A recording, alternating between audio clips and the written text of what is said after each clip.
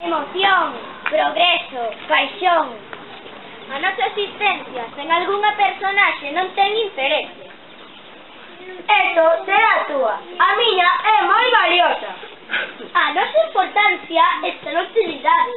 Canto máis útiles, máis importantes. Niso estou pois, de acordo. Pois, decidir nosa liberdade será verdadeira se decimos un non libre. Se permanecemos xunguidos, seremos fortes ninguén se será a dominar. Decidido, pois, o ponte alguén, non vou ser eu quen vos amole. Ainda que non o dixo claro, eu coa maioría.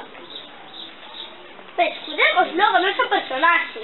Veña, sen demora. que precisamos personaxes inteligente, culto, promotor e amante da cultura galega, libre, preferible con informes. Agardamos.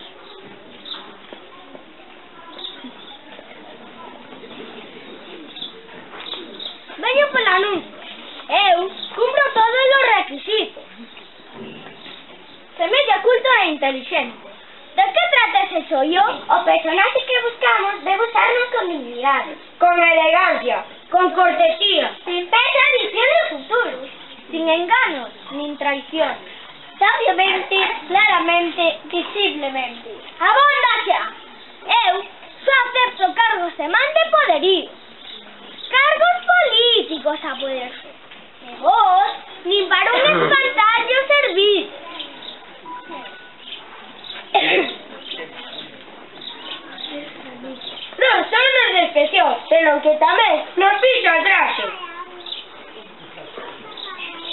Aí ven outro home. Este pode ser o personaxe que precisamos. Como llegáis? Bom, vou indo, meu fillo, vou indo. Como mira ustedes, se pode saberse. Mais ben, mal. A vista tamén se cansa. Andamos na procura dun personaxe que será homenaxeado o Día das Letras Galegas. Vostede é o que andábamos buscando. Collanos, somos teus. Eu respeto e fagome respetar. Vostede ten pasado. Vostede é puro. Vostede é libre. Acéptenos vostedes de nós é un home con nós será un personaje. Pasará da vida ao teatro. Revirá a bella comedia. Estou ben seguro. Interpretará de maravilla o seu papel. Seremos unhas perfectas colaboradoras da súa mímica. Dará o fin vida ás nosas vidas. Sentiré para nacer as nosas loitas, as nosas paixóns, o noso poder, os nosos compromisos políticos. Voltaramos o teatro emocional sempre. Non vos entendo, en fin, non me gusta rexeitar. Como galeguista que son, precisamos a lingua se queremos vencer. Renunciar ao noso idioma é morrer.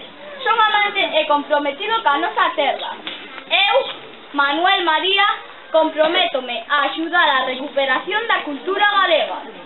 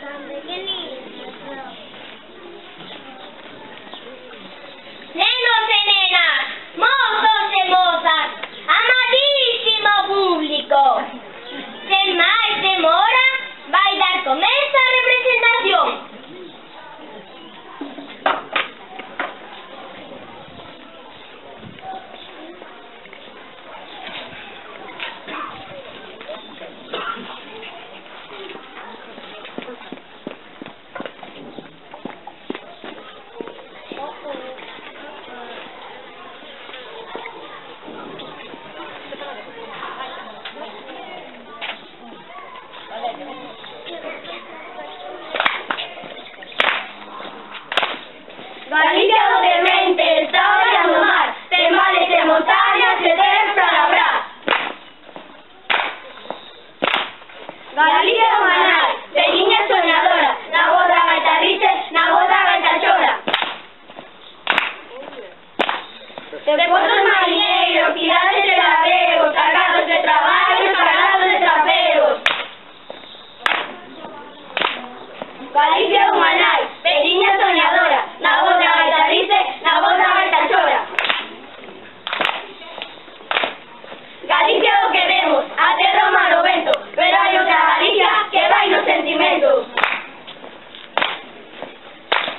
Galicia Humanay,